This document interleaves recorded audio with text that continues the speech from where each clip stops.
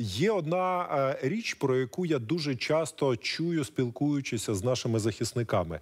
Це втома, що зрозуміло, півроку війни, і дуже часто це е, скарги на те, що немає належної ротації. Хотілося б трохи перепочити людям, які тривалий час перебувають на передовій і в окопах. Наскільки це актуально, але це знову ж таки це моє враження з глибокого тилу із Києва від спілкування.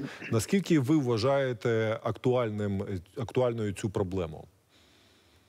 Ну е, дійсно є така проблема, і дійсно ми розуміємо, що люди втомлюються, а особливо втомлюються ті, хто весь час знаходиться на передовій. Чесно кажучи, там і день, і два, і три на передовій. Там коли ти постійно знаходишся під впливом ворожої артилерії, ну морально це дуже тебе подавлює, виснажує і є проблеми. Але ми повинні ще розуміти, що ми зараз приймаємо.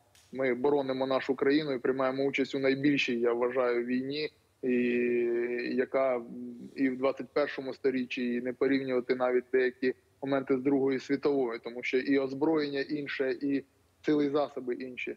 І е, це друге питання. Третє, те, що в нас не завжди вистачає сили засобів для того, щоб поміняти ці бойові бригади. І ми вже говорили не раз, що у нас, хоч і 700 тисяч мобілізованих людей, але зробити з них повноцінні бригади, хоча б механізовані, ми не можемо. У нас не вистачає техніки. Тому дійсно ті хлопці, які знаходяться на передовій, вони на е, краю своїх можливостей, але е, тримають оборону. І і з командувачем говорили про це з головнокомандувачем, Вони це розуміють.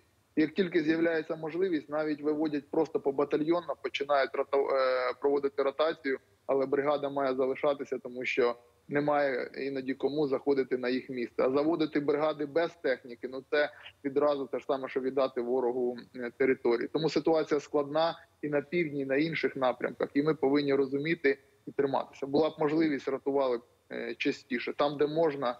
Ротують, виводять на е, доукомплектування або на підготовку, де не можна, стоїмо, вгризаємось і будемо відпочивати після війни.